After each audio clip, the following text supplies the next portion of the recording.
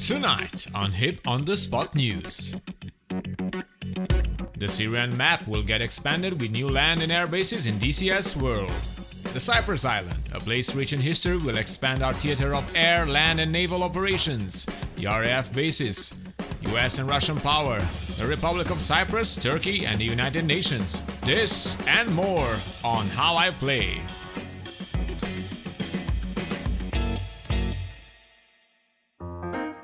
Hello, virtual pilots. I am Andres Celesti, and today we will focus our attention on the Syria map by Ugra Media and the next expansion that will include the island of Cyprus, alongside other air bases that are missing in the region.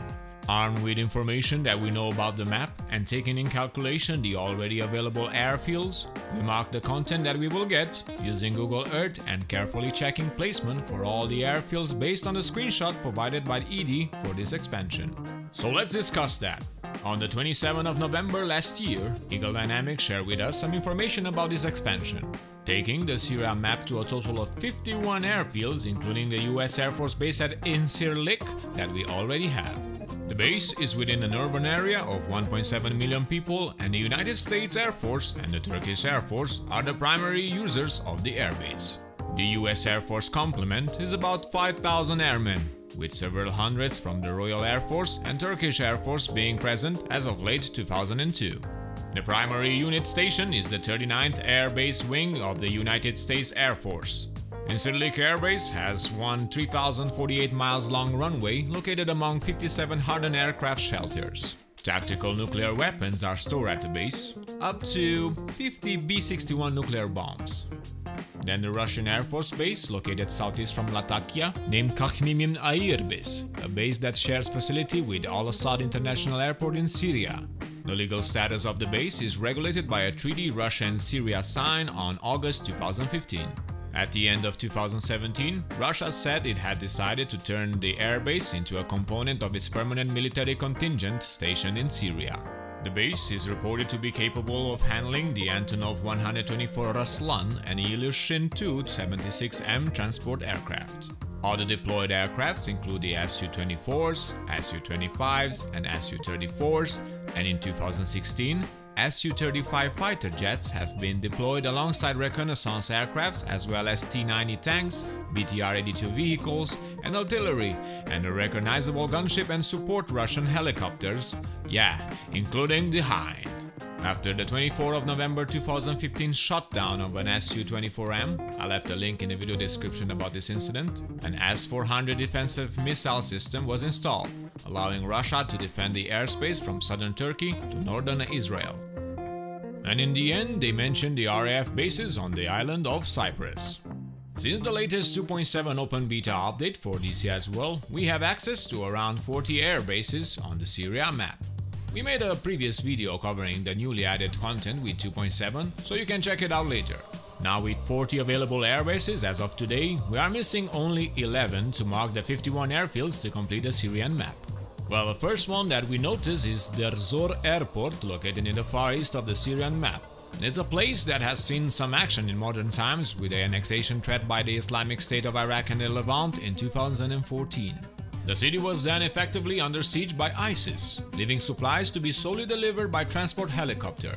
ISIS attempted to stop the supplies by daily attacking the airbase. Next airport to be added is Gazi Pasha, located in Antalya, Turkey. The airport opened for domestic flights in July 2010, with daily flights from Istanbul with Bora Jet. Hmm, I have a good friend called Bora and he is from Antalya. Very interesting. Okay, okay. International flights began in 2011 holiday season with flights from Amsterdam. And now we can focus our attention to Cyprus. It is the third largest island in the Mediterranean, dominated by two mountain ranges, the Troodos and the Kyrenia Mountains. The island is divided into four segments. The Republic of Cyprus, that occupies the southern 60% of the island, is the only internationally recognized government and has been a member state of the European Union since the 1st of May 2004. Then, the Turkish Republic of Northern Cyprus is diplomatically recognized only by Turkey and occupies the northern one-third of the island, around 36% of the territory. The United Nations Control Green Line is a buffer zone that separates the two and it is about 4%. Lastly, two areas, Akrotiri and Dhekelia, they remain under British sovereignty for military purpose, collectively forming the sovereign base area of Akrotiri and Dhekelia, known as SBA. The two areas are located on the southern coast of the island and together encompass 254 kilometers square. And we start up with RAF Akrotiri, that was first constructed in the mid-1950s, had a strong history during the Suez Crisis operating as an airfield for fighters, photo reconnaissance and ground attack aircrafts. And in recent times with the 2006 Lebanon War and many operations along the way including the first F-35 Lightning II sortie deployed to take part against the Islamic State. Next airfield, part of the SBA, is Kingsfield, located in the eastern area, was built by the Army Air Corps around 1960. It has a long history tied to the Hercules C-130, making headlines in the aviation industry in the late 1980s with a location where the RAF tested and used the desert pink paint, making the Hercules pretty much invisible from the air. Moving on with Larnaca International Airport, which is Cyprus' main international gateway and the large of the two commercial airports in the area controlled by the Republic of Cyprus. I used to do many flights from Antalya to Larnaca in X-Plane 11 and Microsoft Flight Simulator. The other international gateway and also a joint civil-military public airport is Paphos International located 4 miles southeast of the city with the same name. It's commonly used by tourists on vacation in western Cyprus. The airport is also an asset for the National Guard and the Air Forces, serving as a military air force base under the name of Andreas Papandreou. Now let's focus our attention to the north side of the island. From right to left, we start with Gecitkale Air Base, a military airfield of the Turkish Air Force. In the summer of 1998, amid rising tension between Greece and Turkey, Turkey stationed 6 F-16s at Gecitkale in response to the former's positioning of 4 F-16s and 2 C-130 Hercules at Paphos. It's also a base for UAV's operations. Next up is Ercan International Airport and the primary civilian airport of northern Cyprus. Flights to the airport are banned internationally. Non-stop flights only take place from Turkey and all planes that fly to northern Cyprus from other countries have to stop over in Turkey. Moving on with Lakatamia base, it mainly served as a helicopter airfield but was still capable of receiving small fixed-wing aircrafts until spring of 2013.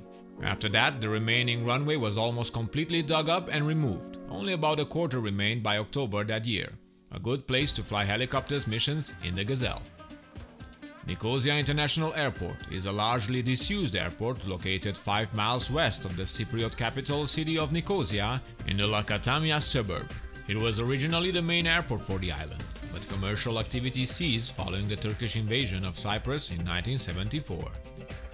My last airport for the Cyprus island is Spinarbasi. Located on the northern side coast, we didn't find much information on this airport or airbase.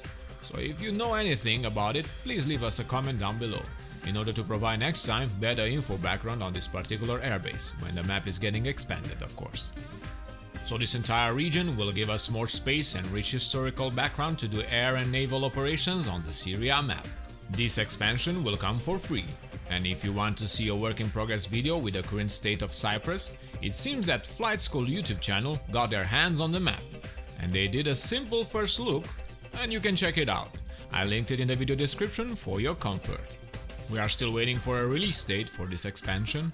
We think that it will come most likely in one of the next open beta updates, before or after the free Mariana Island map. Looking forward to check it out. And that's it, thank you all for watching. If you find our video informative, please leave us a like as it helps the YouTube algorithm, and subscribe to keep in touch with all the latest information and news from your favorite simulators and games. I am Andre Celesti, reminding you to fly safe, and I'll see you next time.